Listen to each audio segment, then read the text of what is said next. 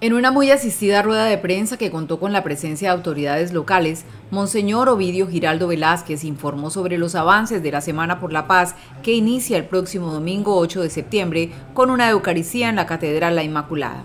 Muy contentos. Inicia este domingo 8 de septiembre y termina el domingo 15 de septiembre el el lema por la paz es uniendo voces, construimos país. El alto prelado destacó la importancia de esta jornada que arriba este año a su versión número 37.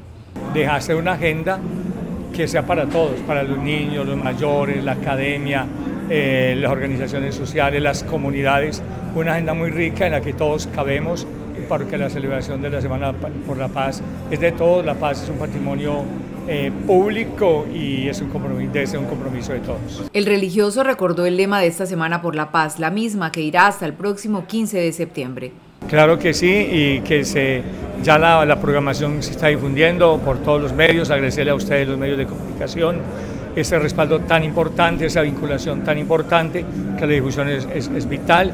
Entonces, por lo mismo, invitarlos a todos a que se vinculen en todo o en parte o en lo que seguramente podrán todos en algún momento participar y decir mm, en Barranca Bermeja, no decir en Barranca Bermeja y celebró la Semana por la Paz, sino en Barranca Bermeja, yo también viví y celebré la Semana por la Paz. La Semana por la Paz concluye con una media maratón cuyo recorrido será en el sector nororiental de Barranca Bermeja.